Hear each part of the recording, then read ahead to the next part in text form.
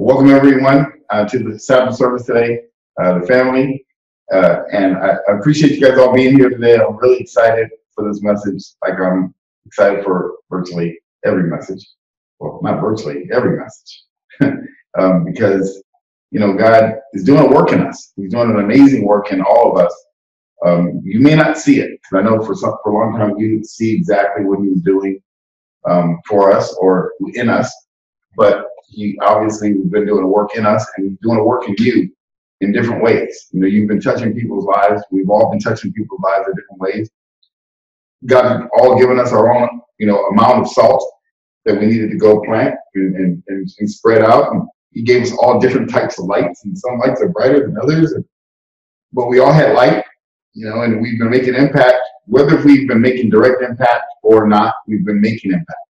And so um, God wants to share something with us today because I didn't know, again, like always, I don't know what to teach. Um, I don't plan any messages at all. And so God woke me up um, this morning and said, okay, this you're teaching. Said, amen. And that's what I'm going to share with you. So I want to start off with something that he showed me and told me to put up here.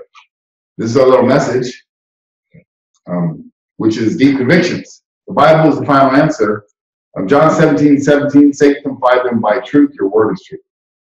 That's our slogan. That's a little banner. If you guys want to copy that banner, I'll give it to you. If you want the logo, you can use it for whatever you want. But this was something that John F. Kennedy said. He said, the only thing necessary for evil to triumph is that good men and women do nothing. Yeah. And God wanted me to share that message with us today. That's kind of the overriding theme of this message is that, you know, the only way to, you know, triumph is for good men and women to do nothing. But Jesus is not going to allow that to happen. You know, he, he's about to make some impact in a, in a major way. So we're going to go through some things today, and I want to show you um, what he's done for us and, and share with us. And uh, before I do, before I go into the scripture, I want to kind of share with you a little bit about what happened in the last few, few days. Um, two days ago, two or three days ago, God woke me up at three in the morning. He likes to do that because when I'm sleepy, he likes to wake me up. I am dead asleep. I hop out of bed and I have to now go do something. So it's at 3.30 in the morning. I, I'm up and I'm like, can't you tell me in the morning? He's like, nope, it has to be right now because it's too noisy in the daytime. You got kids and family and work and stuff you're thinking about. It needs to be right now. I was like, okay, fine. So we I went downstairs and I'm talking to God in my mind and in my out loud, and God started sharing with me you know, what He's doing and why He's doing it. And He started sharing with me this lesson kind of today, and I didn't realize it was going to be the lesson until after I finished preparing it. But He He showed me that He's coming, and He's coming soon, about as soon as we think He is. as soon as and, and I, I, can't say he's coming on this Feast of Trumpets. I can't say that. But, what I can show you is the message he gave me today. And that's all I can say. I can't tell you he's coming to this piece because we've been seeing that for seven years. Uh, but all the signs that he's been showing us are all here. Um, the mark of the beast sign is all here. We've done lessons on that. Um, there's nothing that happens before the mark of the beast kicks in next. Uh, the cryptocurrency and God, all, all the stuff he's been putting in my life is showing all the signs are here. Um, I don't know of any other signs left. I can't find any in Scripture, and I can't find any even in the world that needs to happen before Jesus comes to give his bride. So he's been showing me that, and he told me the Scripture, but but he shared something just now when we were singing that touched me in a way that um, that just is just so intimate because it just showed this to me. And I'm going to share with all of you because he just showed it as I'm sitting here. I wrote notes on my paper. And it was something Jane and I were talking about the other day. We were talking about how the Lord does things two and three times in the scripture. So it's always done and then it's fulfilled, done and fulfilled, done and fulfilled. The New Testament was fulfilling the feast days from the Old Testament, right? Jesus came and fulfilled them. And all the things in the Old Testament are fulfilled in the New Testament. So just now, as I was looking at this, you know, God said, I'm calling my disciples. I'm calling my disciples. You're going to see this in scriptures. And so he said, I'm calling my disciples to go preach the good news. Kind of like when Jesus was came to come preach the good news, right? And I was thinking about it. Started look, he said, Stephen, your timeline. He said, look at your timeline. And so I'm thinking about my timeline of when God revealed this to us. God revealed this to us in about February or so, January, when we went to, um, to Arizona in December. So in December of 2010 is when we went to Arizona to get this award and we got, it was humiliating and all kinds of stuff. But that's when God started sharing with us about the Sabbath day. And we were at a coffee shop and talking about the Sabbath. It didn't make any sense to us. And then we had to go to Vegas for an event. And that was right as we started studying the Sabbath day, started understanding it, understanding what it's all about. And that was an eight, that was around April, March or April, around that time. And we went down there and then that was right before Passover. And right before Passover is when we first honored our first Passover. We didn't know what Passover meant. We just didn't honor Easter. We knew that. it didn't make any sense. So I stopped honoring Easter. And then Passover came that year. And then from that point on, it's been seven years to right now. Right now is literally seven years from the time God started showing it to us before Passover. And then Passover came. And then he, you know, showed us all the stuff seven years later, right? So he's telling me, look at this timeline. And I'm thinking about it because that is the exact same timeline as Jesus. Jesus came to start preaching the message right before Passover. He started preaching the kingdom of God is near. We're going to look at that in scripture. And then Passover came. He died and fulfilled Passover. And then he fulfilled Feast of Unleavened Bread. Then he fulfilled Feast of First Fruit. He rose from the dead. And then he fulfilled Pentecost, which was the Holy Spirit coming down. And then it went blank because there was no more feast days for And we're about to fulfill the next feast day, which is the Feast of Trumpets. The Feast of Trumpets is filled in our lifetime, not back in the disciple lifetime.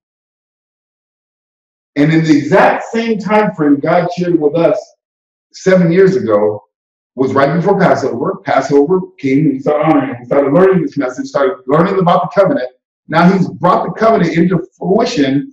This year is the first year out of all the seven years, God started talk, showing us this message before Passover. Because every other time he would talk about the Feast of Trumpets right before the Feast of Trumpets, right? But this year, for some reason, it was before Passover. And I didn't know why until just now God revealed it. We are on the exact same timeline as when Jesus started preaching the kingdom of God. Exactly the same timeline. And that's why I was sitting here singing the song. I was like, wow, okay. So I said, okay, amen. Uh, so let's go through the scriptures and let's look at the Bible so we can see what the scripture says for us. Because this message is for us. This message is for you that are here because God told me send out the message to everybody, send it to all of them, invite them all and the few that are chosen will be here for the message. And you are who are here are here for the message. So let's go through it. We're going to read First Timothy. First Timothy. First Timothy 4.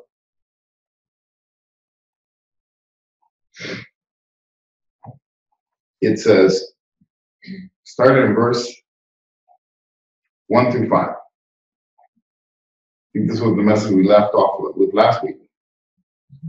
You can't see it? Let me, let me make it a little bigger. Hold on. Uh, there you go. So you, you, might need to get your Bible if that's the case. I, I don't know. I don't know. You know, technology is starting to, to weird up on me. Weird up on a brother. I don't know what's going on here, but um, let me see if I can read. Huh? You'll have to go right to black on that. Yeah, hold on one second. Let me see if I can fix it. Give me a second, guys. Um, hold on. There is that good enough. Can you guys see that on the screen? Can you see it now? Yeah, there you go. You can see it now. And mom, you can see it here. Okay. Yeah, I'm, it's just scriptures, but we're not going to go through all these scriptures. By the way, everything I'm, I'm going through today, I'm going to send you. I'll send it to you in email. Uh, we're not going through all these scriptures, but um, I just want to make sure you have it. You'll see why in a second.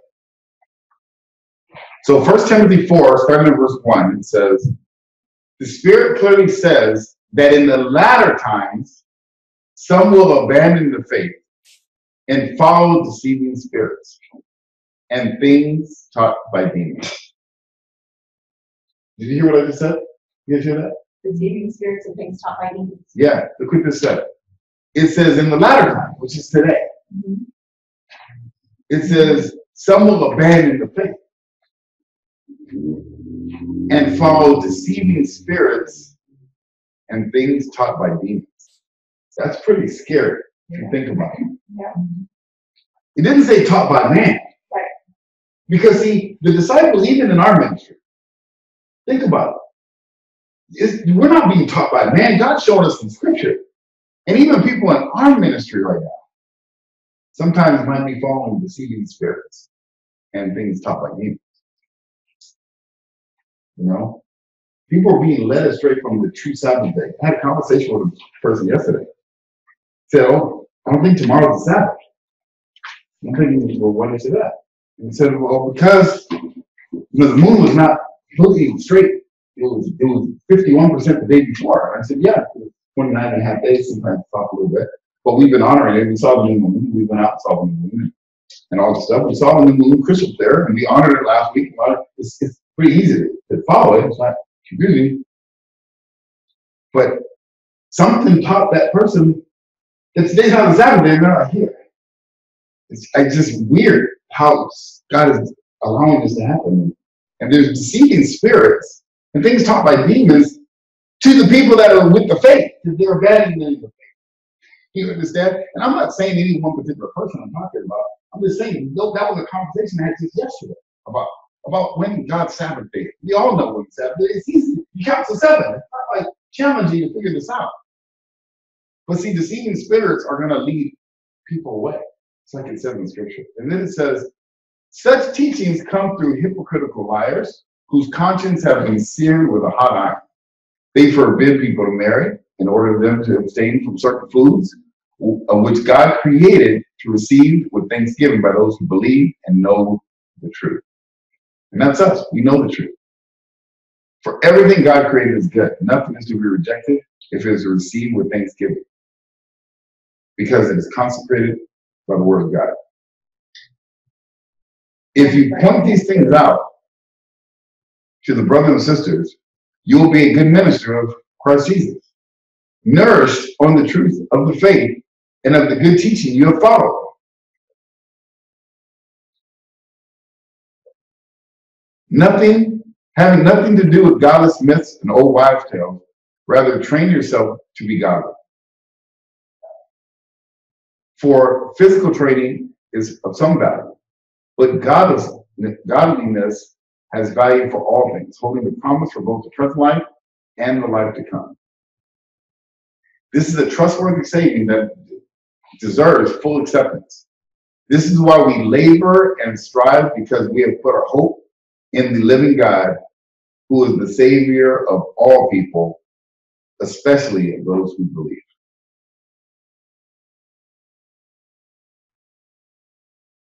And actually, you know, it's interesting. God is so amazing because um, that wasn't actually the scripture I was supposed to be reading right now. I don't know how that scripture got in that message. That's But- what you put. But I know, but it's just amazing because that was not even close to the scripture I was thinking that it was. And I'm gonna look and see if, if God changed the scripture all of a sudden, because that was not in my message. But it fit perfectly of what God wanted us to hear right now. And so, amen. But that is absolutely what's happening today. And we got to realize that there's deceiving spirits that are messing up the consciences of, of people with a hot iron. We got to be careful of this, you guys. You got to be very, very careful. And it says if you point things out, things out to the brothers and sisters, you'll be a good minister of Christ. And that's one thing that we need to do, and we're going to start doing is we need to start pointing these things out. Because that's what's considered a good minister of Christ By pointing them out. Not just by knowing it and not saying anything. By pointing it out. And that's what we're going to be doing. And that's one of the things God has put on our heart to do is to go share this message. Um, so, you know, to get into some of the things that God has shared with us to do is for me and, and Jamie, um, and my mom and and Matt and Jaden and Maddox.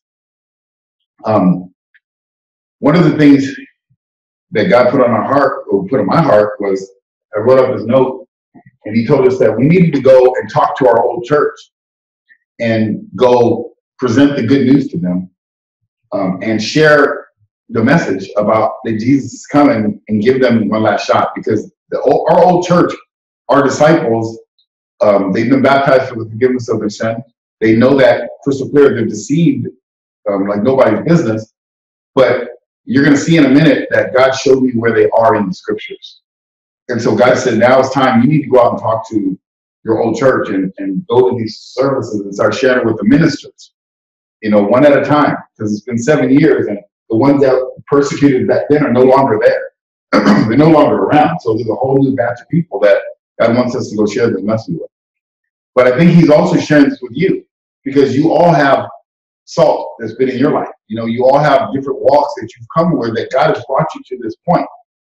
And like John, you know your background and, and the church that you used to go to. God may be calling you. And this is for you to wrestle through in your heart as you get this message, of, uh, to share this message with the people that were around you. You know, you were around a group of people that believed in the Sabbath day. They believed in God's word. You know, they were just deceived as well, just like the people that believed in baptism, they were deceived. And Deborah, you know, you were going to a Baptist church. You know, and they believe in baptism. That's why they're called Baptist church. They understand it. And, you know, a lot of them are Israelites. And, you know, maybe God's calling you, Deborah, to go and start sharing with some of those ministers and people uh, the truth. And, and you know, it's funny because Philip, you, you know, you've had a hard life, probably a harder life than all of us.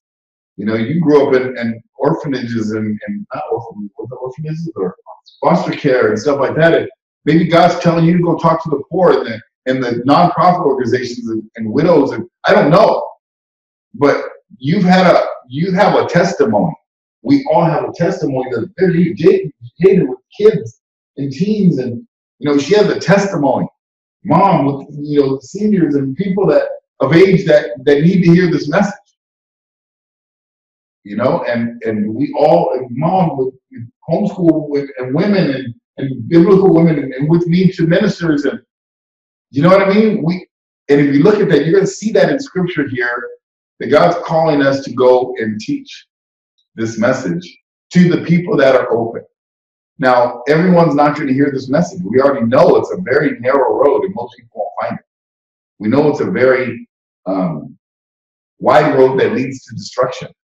We know that. But that's not our problem. Our job is to go share the message with intent to make disciples. Some of them may need to get baptized. Some of them may already understand baptism for forgiveness of sin. They just need to honor the commandments and the holy days and Sabbath day. Because this is the exact same thing Jesus did with the Israelites and the disciples and the Jews and the Gentiles in the, in the Bible when he started his ministry he started preaching the good news the kingdom of heaven is near. And it was near, but that was the beginning of his ministry. We are the end of preaching the kingdom of God. And the next feast that needs to be fulfilled is the Feast of Trumpets. Jesus didn't fulfill that on his first time. He's going to fulfill it. And he's bringing us to lead that charge. Because if not us, then who will? And we have to take that responsibility. We have to take this as a real responsibility. This is not the time to go live our life and have fun and drink and be merry, even though it will be fun and we will drink and be merry. but that's not the call of the hour. Call the hour is to go and do what God shows, tells us to do. And so I, I, I wanted to show you the scriptures that God showed me the other day so you can see the same thing. And then I'm going to send them all to you so you can have them and pray about them for your, you know, for your walk. Let's Revelation. Revelation 1. Revelation 1. This is where it started. God woke me up. The first thing he said was, read Revelation 1. It says, the revelation of Christ, of Jesus Christ, what God gave him to show his servants what must soon take place. He made it known by sending an angel to the servant John, who testifies everything he saw. That is the word of God and the testimony of Jesus Christ. Two things the word of God and the testimony of Jesus Christ. Um, I did a whole Bible study on the 10 lost, the 10 silver coins, and we realized that the word of God, it's not talking about the entire Bible. It's talking about the commandments and more even specific, excuse me, it's talking about the Sabbath day. And we've done the Bible study on how Satan goes after those who have the word of God and the testimony of Jesus Christ. Yes. Actually, in another translation, it says the commandments Mhm. and the testimony of Jesus. You know, that's a good point. Let's look at that really quick, just to clarify that, because I didn't know that. So let's look at it. Because it's very important to understand what we're talking about, because most people don't. And you know, you've seen me go from translation to translation. And by the way, as I'm going through this, if any of you online, you can unmute yourself if you have a question about what we're going through. Please try to keep the topics to what we're on, because this is a conversation. So if you have a question, try to keep it here. Don't ramble off about something else, because that'll take us off track for this particular message. I think it's New King James Version. That's New King James. Okay, this is New King James. What does it say here? It says the same thing. Oh, it says the same thing? Okay, Every human such could be- yeah, you can, they can.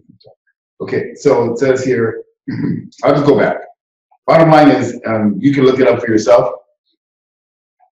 But the, the Satan is gonna go after those who hold the king, hold the commandments and the testimony of Jesus. That's what it says in Revelation 12, 9 and Revelation 14, 9, I think it is. So that's who Satan's gonna go after, but it says it right here. It says, blessed the one who reads aloud the words of this prophecy. Mhm. And blessed are those who hear it and take heart to what is written because the time is near. Mhm. So this is very important. This is what God showed me is that not only are we supposed to read what we're about to read, we it says that blessed are those who hear and take heart of what is written. What does it mean to take heart? Take to heart and actually do what it says. That's what it means. And it's the reason why is because of the time is near. You understand? So we are in this time of what the scriptures say. Let's keep reading. Verse 4 it says, To the seven churches in the province of Asia. So I was like, yeah, why do you have to read the churches in Asia? Isn't that later? But you're going to see this is right now. It says, Grace and peace to you from he who is, and who was, and who is to come, and from the seven spirits before his throne, and from Jesus Christ, who is the faithful witness, the firstborn from the dead, and the rulers of the kings of the earth. To him who loves us and has freed us from our sins by his blood, and has made us to be a kingdom and priests to serve his God and Father. To him be glory and power forever and ever. Amen. I'm reading this in a, in a very slow way, and I want you to read this and take heart that he's talking specifically to you, to you watching this video right now. Mhm. That's why this message is not for the entire world. This message is for the people that he's called to hear this message. Yeah. This message is for you specifically. So when you're reading this, don't just read it as you're reading it in, in the old day. This is today. This is the book of Revelation. This is right now. We're living it in in real time right now. Right. So I want you to read this as if he's talking specifically to you right now. Look what it says. Look, he is coming with the clouds. What day is that? The Feast of Trumpets. We know that.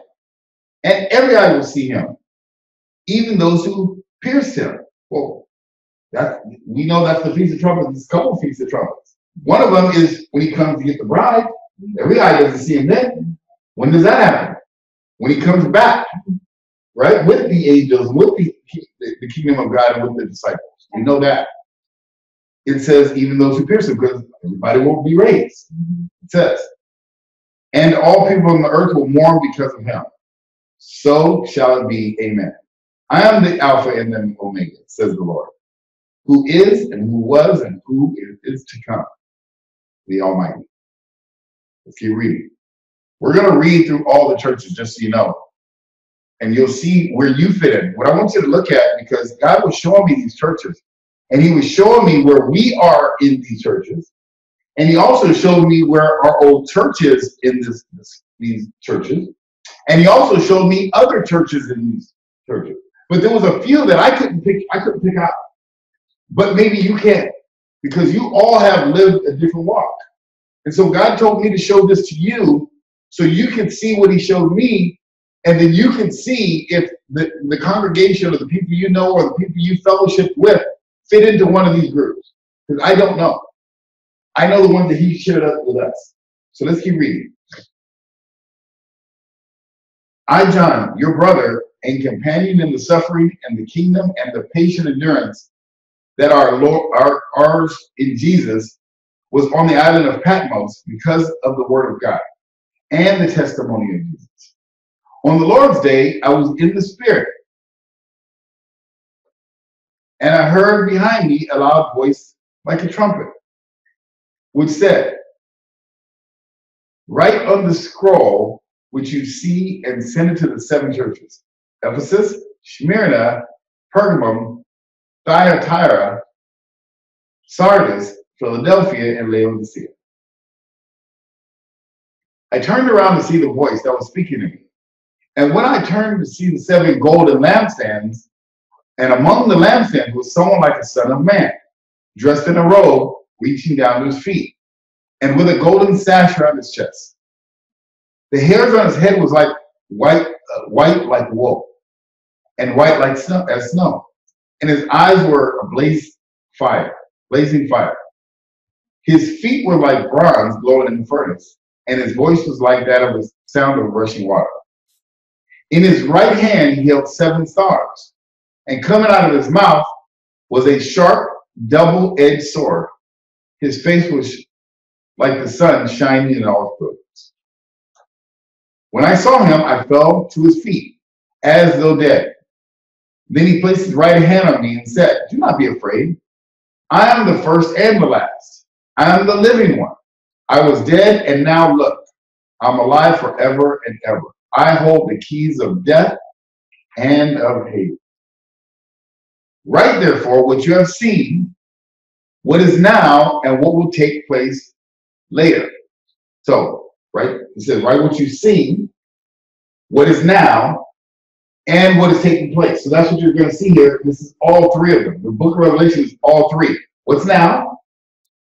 What's will happen later, and what will take place. Oh, what you have seen, what is now, what will take place later. That's what it says. The mystery of the seven stars that you saw in my right hand and of the seven golden lampstands is this. Here it is. The seven stars are the angels of the churches, and the seven lampstands are the seven churches. So now we know what the angels are, and we know what the lampstands are. Very simple to understand. Let's keep reading. Revelation 2. The church in Ephesus. To the angel in the church of Ephesus, write These are the words of him who holds the seven stars in his right hand and walk among the golden seven the golden lampstands. Every time it says at the beginning, it talks about the angels and Jesus. The angels and Jesus. I know your deeds, your hard work, and your perseverance. I know that you cannot tolerate wicked people, that you have tested those who claim to be apostles, but are not, and found them false. You have persevered and have endured hardship for my name, and have not grown weary. So that's the first quality of this particular church. Now remember, a church, biblically speaking, has to be filled with baptized disciples. They must be baptized disciples, not a building filled with them, but a church, biblically speaking, are baptized for the forgiveness of sins disciples. So that's very important. So this is not talking about that, that building over there down the street that prays Jesus in their heart. That's not what it's talking about. It's not talking about that big group of people, 40,000 people out there that you know see this TV show and this guy's talking about how much money not talking about that. They don't believe in baptism for forgiveness of sin. Now, there might be one person in there that has been baptized for forgiveness of the sin. So the Bible's talking about that person because that person is considered the church. Very important to, grasp this concept. The church are people. It's not a group. You understand? It's not a facility. Very important to get that. Okay? So when you're looking at this, I want you to look at what group of people could this be talking about. So here it says, um, you have persevered and have endured hardship for my name and have not grown weary. So this is somebody that's zealous out there. I don't know who that is, but look what it says. Yet I hold this against you. Everyone is going to be holding things against people. You have forsaken the love you had at first. Consider how far you have fallen. Repent and do the things you did at first. So let me tell you what this why this was so intriguing to me. We know what the definition of loving God is. Is what? Obedience to the commandments. Obedience to the commandments. So if obedience to the commandments is what the love is loving first. So so this group obedient was obedience to the commandments at one point, and they lost that obedience to the commandments. And it says, consider how far you fall. So as you're looking at this group, you need to think, well, who could this possibly be that has a, you know, you know, tars who hates sin, who calls out apostles, who, you know, endures hardship for his name and haven't grown weary, but they've fallen away from honoring the commandments. I don't know who that could be. That could be the Israelites. That could be the Baptist church. I don't know. We don't know. But look what it says right after that. It says, repent and do the things you did at first. If you do not repent, I will come to you and remove your lampstand from its place, meaning you will not be a church any longer. That's what that's saying. But you have this in your favor. You hate the practices of the Nicolaitans, Nicolaitans, Nicolaitans, and I, which I also hate. Whoever has ears, let him hear what the Spirit says to the churches. Look what it says. The one who is victorious, I will give the right to eat from the tree of life, which is in the paradise of God. So this is somebody, because it says the one who is victorious. It's not saying the, church that is that's victorious the one. So what this is showing us is that, you know, some of these people are going to repent. Some are going to repent, and they are going to be able to be part of the tree of life, as it says. So it's very important to understand that this particular group that God is talking to, there's going to be some people in there that are going to repent. Hear the message when you go share it with them and say, I want, I want to be obedient. So it's going to say. Make sense? Mm-hmm. So you got to think through who that church is. I don't know who that is. But, you, you know, it sounds like someone that was honoring the commandments at one point and then stopped honoring them because that's what loving God is. Let's look at the next one, the ch- church in Smyrna. To the angel of the church of Smyrna, these are the words of him who was first and last, who died and came to life again. That's Jesus, of course. I know your affliction and your poverty yet you are rich. I know about the slander who say they are Jews and are not, but are the synagogue of Satan. Do not be afraid of what you are about to suffer. I tell you, the devil will put some of you in prison to test you, and you will suffer persecution for 10 days. Be faithful even to the point of death, and I will give you your life as your victor's crown. This is very important to understand who this church is. Now, I don't know. I'm just speculating based on what I'm reading. But this is a group of people, one, that they've been afflicted. We know in Deuteronomy 28 who's been afflicted, and they're poor. They're poor physically. So this is people that are afflicted by God or afflicted, and they're poor. I believe these are the true Israelites out there in the scripture. And because it says, yet you are rich.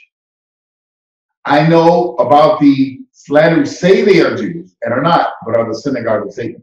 These people are the ones that stolen the identity of the true Israelites. And then in verse 10 it says, Do not be afraid of what you're about to suffer. which is telling you they're going to suffer. And it tells you that the devil, which is the people that call themselves Jews, will put some of them in prison to test them. Now we know that there's prison camps all around the United States. We know about FEMA camps. We know that that's coming. When the mark of the beast is implemented, we know that people are going to go into captivity because of it. And these people are here, we believe these are the Israelites that are going to go through their final testing. Because look what it says, how long they're tested. It says putting you in prison, and they're going to be tested for 10 days. Where did that go? I, I just saw it. Where did it go? Oh, oh, where? Oh, you're here. Yeah. See, you're going to be tested for 10 days. This is the reason I believe these are the true Israelites out there that are going to be tested. Because from the Feast of Trumpets, when the bride is gone, the only biblical 10 day period is from the Feast of Trumpets to the Day of Atonement. So the Day of Atonement is when the wedding party, and we believe the true Israelites are going to be taken to go to meet with the Lord. That's why the Bible says they're still rich. And then it says, be faithful even to the point of death, which means some of them will have to die for their faith. These are not just the true Israelites, these are also the disciples around the world that have been baptized for the forgiveness of their sin because the Bible says there is no difference mm-hmm. between Jew, Greek, slave, or free. We're all given the same spiritual grace. Very important. And then it says you'll get the life. So because of that, they'll be saved. And then it says, whoever has ear left to hear what the Spirit says to the churches.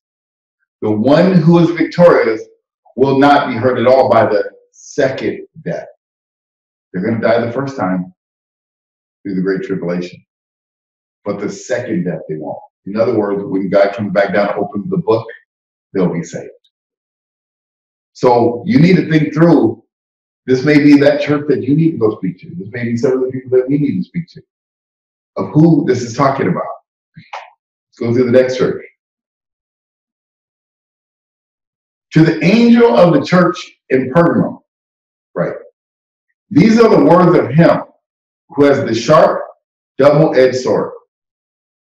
I know where you live, where Satan has his throne. Yet you remain true to my name. You did not renounce your faith in me, not even in the days of Antipas, my faithful witness, who was put to death in your city where Satan lives. Well, that one's pretty easy to see what that one is. Let's let's be specific on this. It says, verse 13, I know where you live, where Satan has his throne. Well, what church has the throne of Satan in it? That's the Vatican. That's easy to see. okay? And here's uh, what most people don't know, and you may have seen this, but in 2013, you can look it up on YouTube. The Bible says, uh, you know, I saw Satan come down like lightning. Most people don't know when this pope just got inaugurated, right when the other pope quit, that exact day, a bolt of lightning struck the top of the Vatican. Yeah. On that day. What's the probabilities of that? Mm-hmm. So it says, it says, look what it says in verse uh, it says, You did not renounce your faith in me, not even in the days of Antipas, my faithful witness, who was put to death in your city where Satan lived. Well, what's the only church that's also a city? Vatican City. So we know this one. And so what that's telling you is that there are some Catholic people that have been baptized for the forgiveness of their sin, that are part of that congregation that we maybe need to reach out to. If you have friends that know that or that are there, then that may be your church that you need to go share with. But let's keep reading it. Verse 14, it says, Nevertheless, I have a few things against you. That there are some of you who hold to teaching of Balaam. We know that. We know they worship Baal and all that.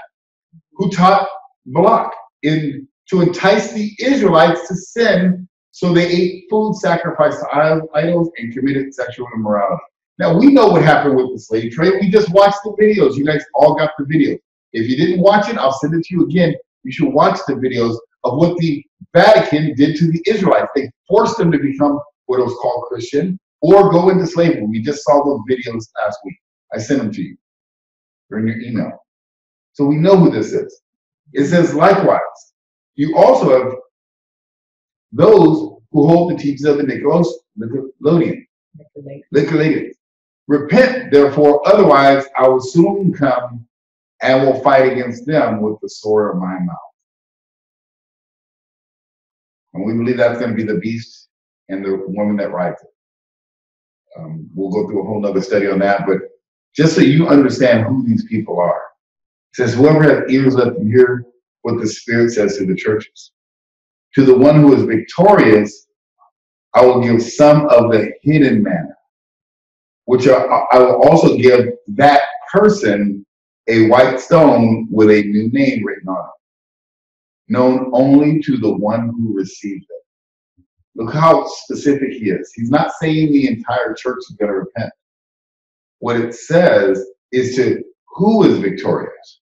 I will give some of the hidden manna, and I will also give that person, one person, or maybe a few people probably. I will give, it says, them a that person a white stone with a new name written on it, known only to the one who receives it. The one who receives it not the group that receives it. It's one. Very important to understand this. It's not a lot of people that are going to go, that are going to be the bride. It's going to be a few, but you may know those few. God may be lining those people up for you to go talk to them about this message. It's you. Can't just be me. It's all of us. We've all been given this knowledge. Let's go to the next one the next church, the church in Thyatira. To the angel of the church in Thyatira, these are the words of the Son of God, whose eyes are like blazing fire, whose feet are like burnished bronze. I know your deeds, your love, your faith, your service, and your perseverance, that you are now doing more than you did at first. So this is some group that's zealous. They're doing more than they did first. They're bigger, they're stronger, they're, they're going after it. I don't know who that is, but it says, Nevertheless, I have this against you. You tolerate a woman, Jezebel. Uh huh. Who calls herself a prophet. By her teaching, she misleads my servants into sexual immorality and the eating of foods sacrificed to idols. Now, I don't know who that is, but this is a, I don't know. I don't know what church that is, but it sounds like someone that may have been honoring the Sabbath day, may have been honoring the commandments, may have been baptized for forgiveness of sin. I don't know, John, that might be the church that you used to belong to. I don't know. You, you know better than I do. Look what it says. So I will cast her on a bed of suffering. No, actually, it says, verse 21. I have given her time to repent of her immorality, but she's unwilling. So I will cast her on a bed of suffering. And I will make those who commit adultery with her suffer intensely. Unless they repent of her ways, I will strike her children dead. Then all of the churches will know that I am he who searches the hearts and minds, and I will repay each of you according to your deeds. So I say to the rest of you in Thyatira, to you who do not hold her teaching, and have not learned Satan's so-called deep, deep secrets, I will not impose any other burden on you except to hold on to what you have until I come. Wow, Satan's so-called deep teachings.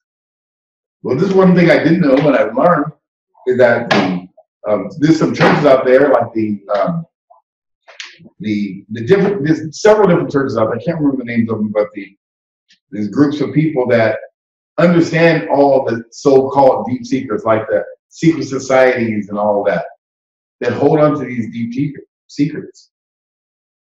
And it says who that group is. So it says, to the one who is victorious and does not and does my will to the end, I will give authority over the nations. That one will rule with them an iron scepter, and I will dash them to pieces like powder. Just as I have received authority from my Father, I will also give that one the morning star. Whoever has ears, let them hear what the Spirit says to the churches. So you need to think through who that church may be, or who those people may be. Because I don't know those. The next ones, I have a good understanding, a couple of them anyway. It says, to the church, to the angel of the church in Sardis write, these are the words of him who holds the seven spirits of God and the seven stars. I know your deeds. You have a reputation of being alive, but you are dead. Wake up, strengthen what remains and is about to die. For I have found your deeds unfinished inside of my God. Remember, therefore, what you have received and heard. Hold on to hold it fast and repent. But if you do not wake up, I will come like a thief, and you will not know what time I will come to you. Wow. So it's going to come like a thief. We know that on the Feast of Trumpets, going to come like a thief in the night, and they won't know the time or day. Look what it says. Yet you have a few people in Sardis who have not soiled their clothes. What does it mean to soil our clothes? It means white robes. You have a white robe, right? The bride has a white robe. They walk with me dressed in white, for they are worthy. The one who is victorious will, like them, be dressed in white. I will never blot out the name of that person from the book of life, but will acknowledge the name before my Father and his angels. Wherever his ear, let them hear, the Spirit says to the churches. So these people are actually honoring the commandments, honoring the holy days, honoring probably the Sabbath day correctly. I don't know who they are. They might be out there. We are at um, the Church of Philadelphia now. We've gone through all the other churches and you kind of see those, but this one you should be really encouraged because this is us, and you'll see it pretty clear. To the church, angel of the church in Philadelphia, write: These are the words of him who is holy and true, who holds the keys of David. What he opens, no one can shut, and what he shuts, no one can open. I know your deeds. See, I've placed before you an open door that no one can shut. I know that you have little strength, yet you have kept my word and have not denied my name. I will make those who are the synagogue of Satan, who claim to be Jews, though they are not. I will make their liars.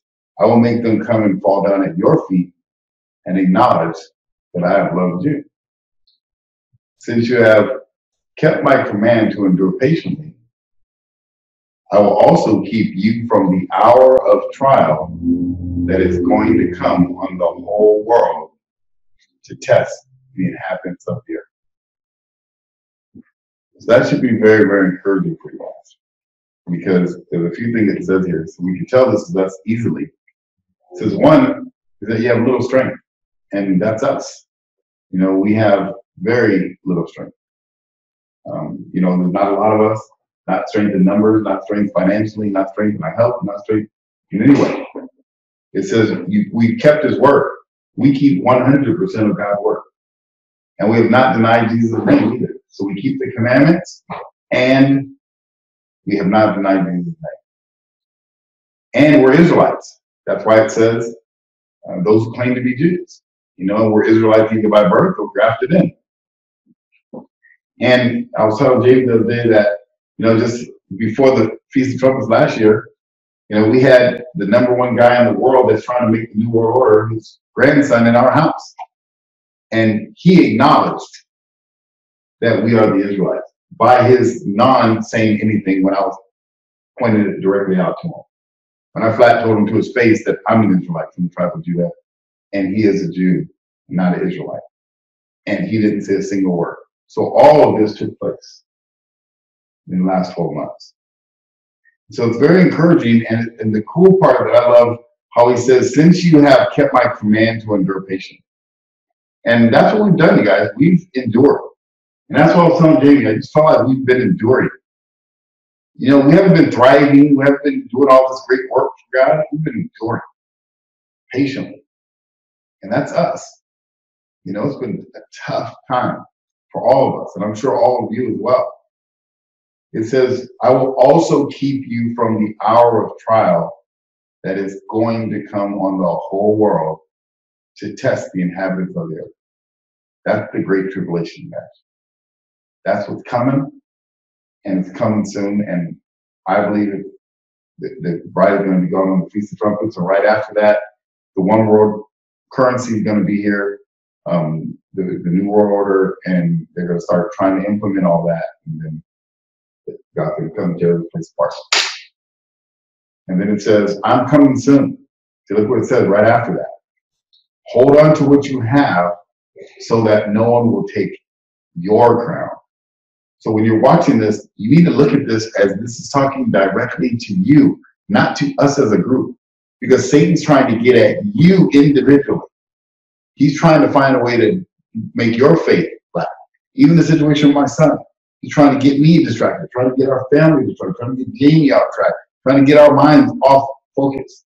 But we're not because we know Jesus is going to come and take care of Maddox and, and, and save him and be, he'll, be, he'll be fine. And even if he doesn't, we're still not going to be off track because Jesus, we know where he'll go. Because nothing's going to happen to him. Nothing's going to happen to Maddox. But the whole point is we understand what worst case scenarios could happen in this world. And even with the worst case scenario, we're still going to endure patiently. Because we trust, we have faith. That's what faith is.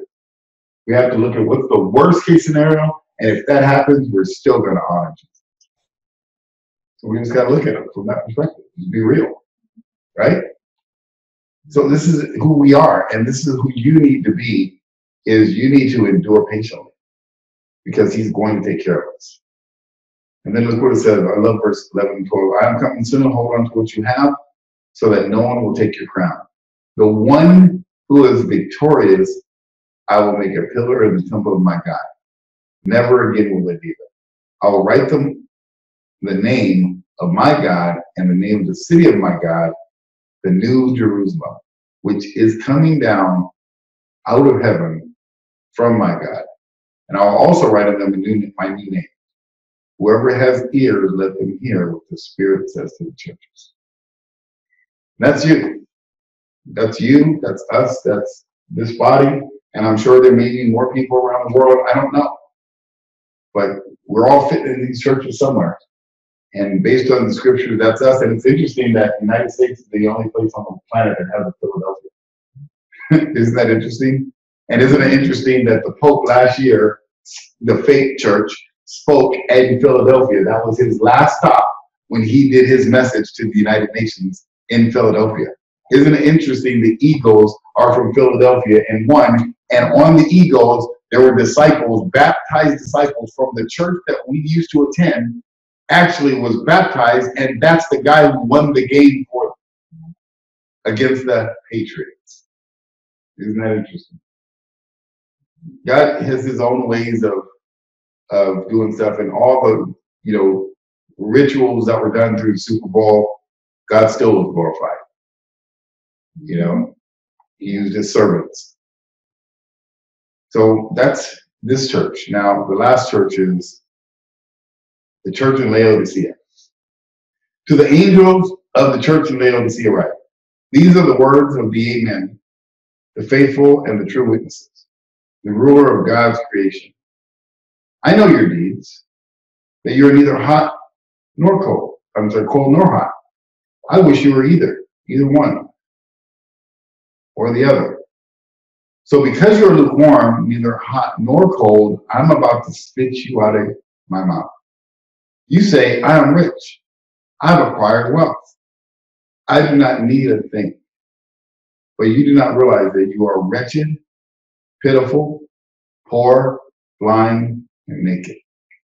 I counsel you to buy gold from me. Gold refined in the fire so that you can become rich and white clothes to wear so you can cover your shameful nakedness and salve to put in your eyes so you can see. This was really, you know, eye-opening for me because as I'm writing this this week, as God told me to sit down and go through this, he said, this is ICOC. This is our old church. And let me show you what I mean why I say that because as I'm reading this, a few things came to to to, uh, to mind as I'm reading the Church of Laodicea. One that says they are rich. Well, you know, I was at this time at the beginning, I was thinking it might be Joel Osteen But Joel Osteen is not a baptized disciple, probably his group isn't because they don't believe in that. So it can't be him. It can't be Saddleback. It can't be, you know, churches that don't believe in baptism for forgiveness of sin. That doesn't make sense. Those are not churches. So it has to be a church that believes in baptism for forgiveness of sin, but they're lukewarm. But the Bible says they're also rich. So I was thinking, well, who could this possibly be? And I'm going to show you a website right now. Disciples today. Let me see if I can find it. DisciplesToday.org. This is our old church, ICOC. Disciples Today. Um, this church, this is their, their ministry thing called Hope. But this is the church, church located. They are everywhere around the world. In every country, over 150 countries around the world. And back then, they weren't very rich. We didn't feel they were very rich. But today, it's changed dramatically because they understand baptism, but they are filthy rich. This website, when I went to um, this website here, I went to the, the Los Angeles church. Let me just show you here. Because you can pinpoint where you want to where you want to meet these people. And we went and I looked in this church here, and I looked over here in the United States. I looked at the LA church. I just wanted to show you this right here. LA church. This is just the LA church. There's hundreds of thousands of people in the church. See, Joel Osteen has 40,000 followers, but they're just followers. They just believe in him. These guys are committed disciples of Jesus. All have been baptized for the forgiveness of their sins. This website right here, I was looking at this website and I was like, good night. This thing is amazing. And I started going through the churches individually. And God said, okay, it's time to go talk to the churches. I mean, this website, they spend a lot of money on this website. They got apps and all, I mean, this thing is so modern. It is the best website I've ever seen for any type of group. I haven't seen a website better than So they're not rich maybe financially, but they're rich from the world standpoint. You know, they got all these, they got hundreds of thousands of people in 150 countries around the world. But the Bible calls them lukewarm. And here's why because there's sin running rampant in the church. They don't understand the commandments. They don't understand the holy days. They got baptism for forgiveness of sin down pat, but that's it. And so God said, Stephen, you need to go talk to the churches. So what we did is I, I sat down that day and I made a list of every church in Southern California, and we're going to go starting this Sunday, church to church, service to service. And we're going to go in there, we're going to ask to speak to the minister and pastor.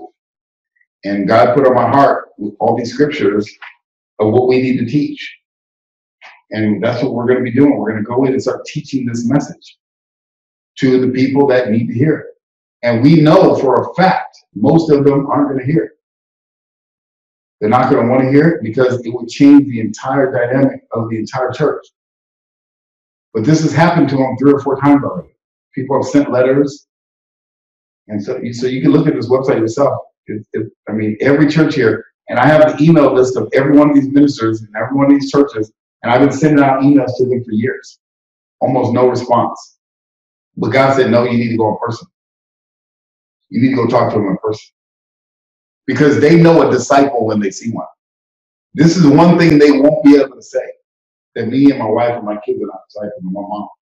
When we walk into that church and we're sitting there and we ask to speak to the ministers and they want to question us like they question people to find out how they how they're doing spiritually, they're going to know we're disciples. We can tell our story. We can tell how we got here. And then we can share the truth about the kingdom of God and what's going on with the people that are open here. The ones that don't want to hear it, we're going to do what the Bible says, which we're going to look at in a moment. So this is the church that you know, God told us to go to, and look what it says. It says, verse 19 says, Those who, who I love, I rebuke and discipline. So be earnest and repent. Here I am, standing at the door and knock. If anyone hears my voice and opens it, I will come and eat with that person, and they with me. If you notice, it doesn't say, you know, baptized because they got it already.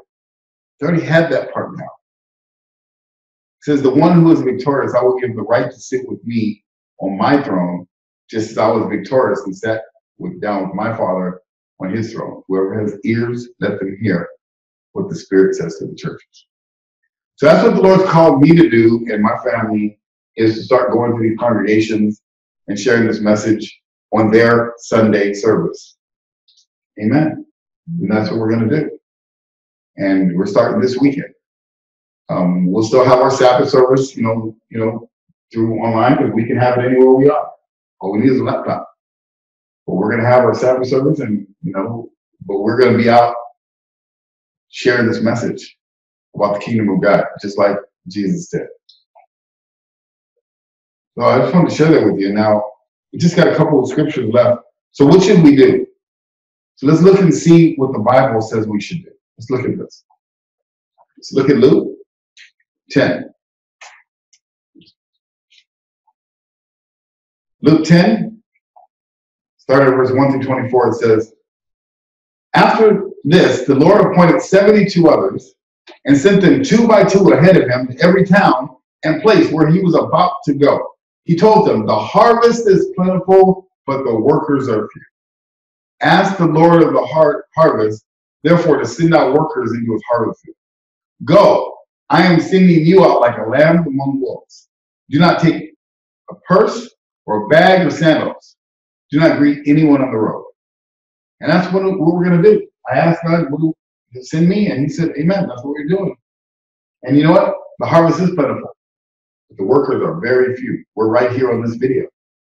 That's why this video, this particular one is for us. It's not for the world, it's for us. So take this at heart and start asking yourself, God, what do I need to do? Where do I need to go? It says, when you enter that house. Now, when I looked at that at first, I was thinking a house. No, it's the house of God. When you enter a house, the house of God is considered the house. When you enter a house, first say peace to that this house. If someone who promotes peace is there, your peace will rest on them. If not, it will return to you. Stay there, eat, drink, whatever they give you. For the worker, it deserves his wages. Do not move around from house to house.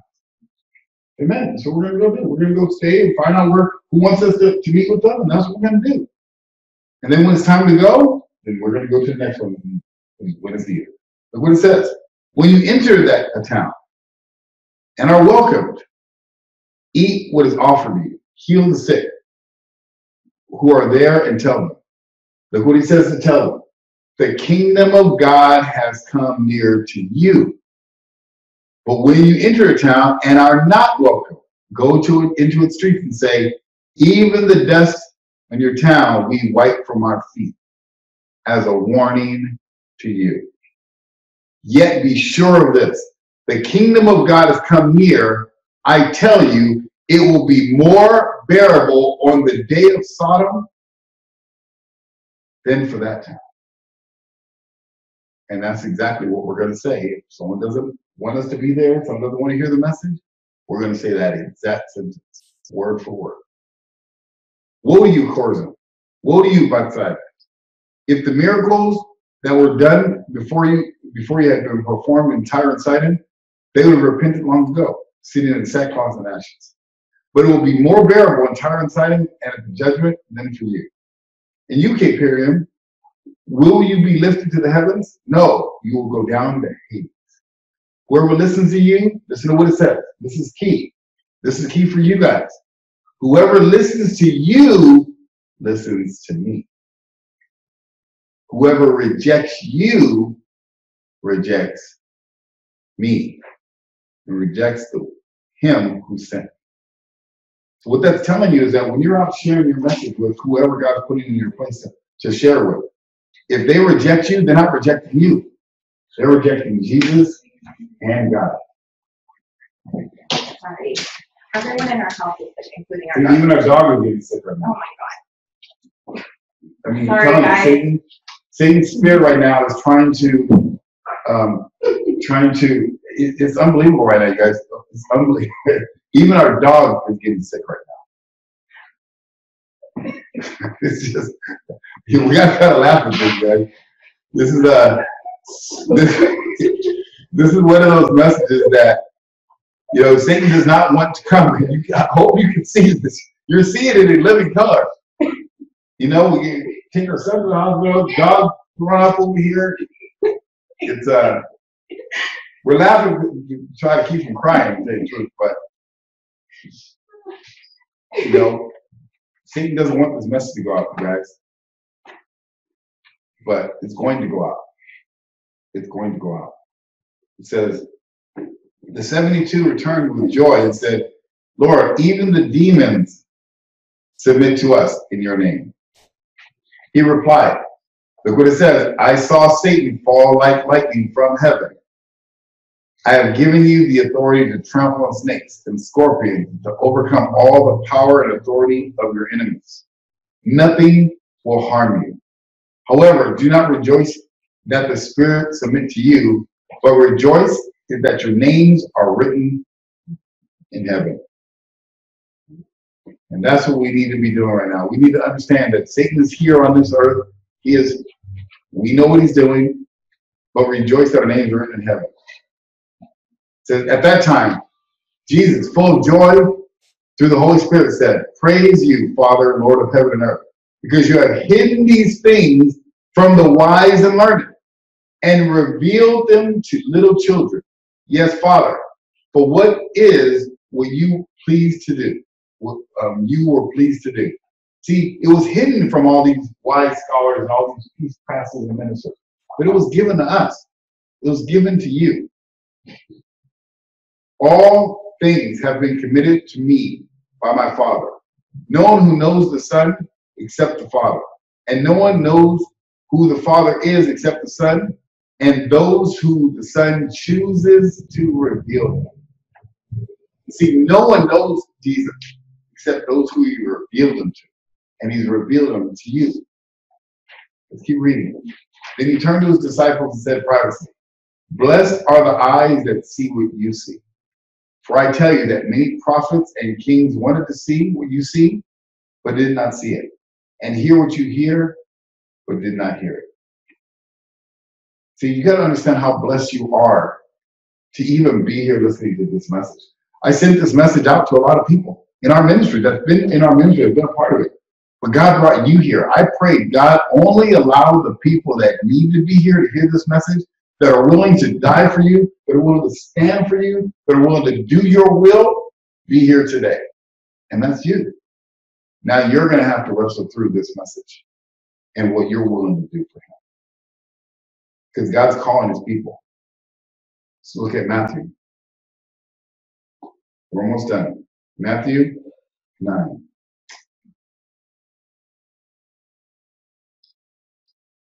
Matthew 9 starting in verse 35. Matthew 9, starting in verse 35. It says, The workers are few. Jesus went through all the towns and villages, teaching in their synagogues. Notice it doesn't say teaching in his synagogue, because they're not his synagogue. Jesus didn't worship in a synagogue. Jesus taught in a synagogue. He went to their churches. He went to where the leaders and teachers of the law were, just like we got to do. We got to go to where the teachers of the law are and guess who the teachers of law are today? Pastors, ministers, preachers, evangelists, those people. He said he went to their synagogues proclaiming the good news of the kingdom and healing every disease and sickness. When the crowd saw him, when he saw the crowd, he had compassion on them because they were harassed and helpless, like sheep without a shepherd. He said to his disciples, The harvest is plentiful, but the workers are few. Ask the Lord of the harvest, therefore, to send out the workers into his harvest. And that's us. Yeah. And that's what we need to do, guys. So this message is, is what we need to teach. We need to be teaching the good news of the kingdom of heaven. Now, we're not going to go through any of these scriptures right now, but I'm going to show you on the bottom of this half of this page are all the scriptures that God put on my heart to teach what, what we need to be teaching people. Because, you know, I know, um, I know, Gus, you had been asking me for years, can you lay out this plan? And I could have laid out the plan of how to make a disciple. But up to this point, God didn't give me what the plan was until this week of what we need to be teaching. Because I've been asking, God, what do I teach? What do I teach? What do I teach? And I looked in my notebook and God had already given it to me. I did good. So it's all right here. And I'm gonna send you these scriptures, and you need to look at these scriptures to learn them. You've heard them a thousand times in the last seven years, but you need to now learn them and take them and and be a disciple and go and share this message in your farm. And you got to pray about it. You got to live by faith. This is going to take faith. It's going to take determination. It's going to take effort. It's not. It can't be passive. And so uh, it just says, here's the things that we need to teach. I'm not going to go through the scriptures, but it says we need to teach how to become a disciple. If someone's not a disciple, then you need to show them how to become a disciple. And we have the lessons on how to do that. But disciple is holding to Jesus' teaching, which is the Bible. So the scriptures are there. It says, repent and be baptized for the forgiveness of the sins so they can receive the gift of the Holy Spirit. You need to be teaching that. If, if you're talking to people that don't understand that, you need to teach it to them. Because some of them might be deceived.